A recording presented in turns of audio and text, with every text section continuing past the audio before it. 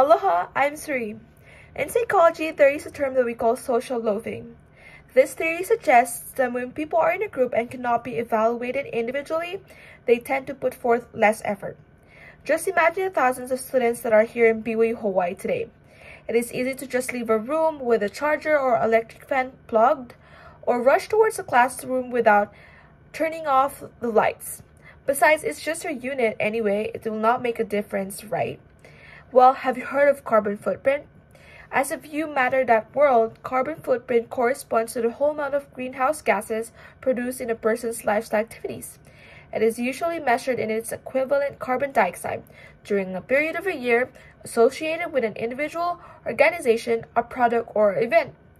I'm proposing the idea of a carbon footprint calculator incorporated in our BYU Hawaii website where students may be required to do so. Once students calculated it, they can be directed to the sustainability page where they can see ideas posted on how they can reduce their carbon footprint in transportation, food, water, energy use, and waste management. The goal is to increase awareness not just about the effects of global warming today, but how I, myself, the very powerful self, contribute to my surroundings. With this awareness, students may realize the need for discipline and proactivity. I am sure that most of our students are not aware of their individual carbon footprint because sustainability remains abstract to them. This time, let us make sustainability real by having our daily activities calculated.